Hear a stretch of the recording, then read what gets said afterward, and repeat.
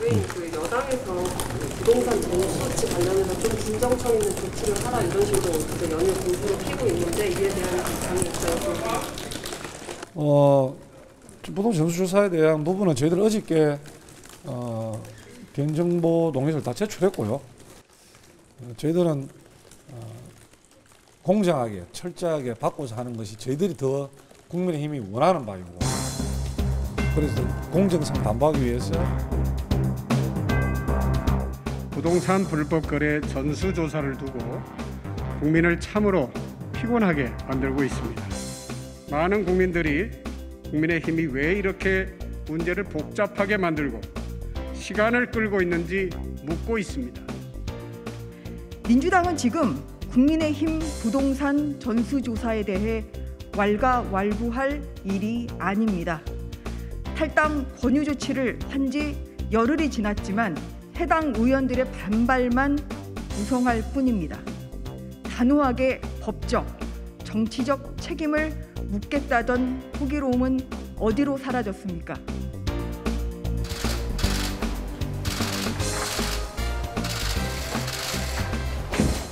정의당 등 비교섭 정당 소속 의원 14명, 무소속 홍준표 의원 등 국회의원 15명과 그 배우자, 직계 존 비속 등 총 75명입니다. 국민의힘 전수조사는 언제부터 실시하는 거예요? 예, 대변인이 답변드리겠습니다. 지금 국민의힘 그 국회의원 가족 관련 개인정보 제공 동의서가 일부 지금 누락되어 있습니다. 그걸 확인해서 절반은 왔나요? 예, 절반 정도는 왔나요? 구체적인 그 상황은 예, 예, 여기에서는 좀 답변드리기가 어렵다는 말씀을 드리고요. 근데 국힘이 2주 뒤에도 이제 덜 내게 되면 그 전원위에서 뭐 겨- 어떻게 할 수 있는 건 없나요? 이제 계속 이 상태가 되면 그 부분은 다시 또 이제 예, 뭐 검토 과정이 필요하겠죠. 근데 아마 실무적으로 계속 지금 예, 협의가 진행 중에 있는 걸로 알고 있고 또 오늘 정시로 또 공문으로 요청을 해놓은 상태이기 때문에 예, 요, 요청할 요청, 요청할 계획으로 있기 때문에요. 아마 거기에 좀 국힘에서도 저희들한테 예, 공문으로 정식으로 조사를 받겠다고 한 만큼 예, 답변이 들어올 것으로 기대합니다. 야 정의당 그 아, 국민의힘을 제외한 정의당 5당 정의당 포함 5당에 대해서는 저 즉시 이제 내일부터 착수하는 걸로 돼 있고요.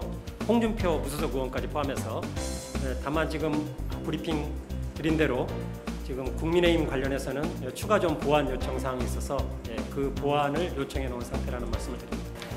그럼 저희들이 본격 착수 이런 단어를 네, 글- 네 글자 쓰는 것보다 보완되는 대로 본격 착수 이렇게 표현해 됩니까? 일단 이 국힘에 대해서는 그런 보완이 이루어지는 대로 돌발 영상 잘 보셨나요? 다양한 시사 콘텐츠를 더 보고 싶으시다면 화면 왼쪽을 눌러 YTN 도라쩌 채널을 구독해 주시기 바랍니다. 돌발 영상은 물론 뉴스가 있는 저녁, 알고리즘 같은 YTN 대표 프로그램을 함께 보실 수 있습니다. YTN 도라쩌 구독, 좋아요 기억해 주세요.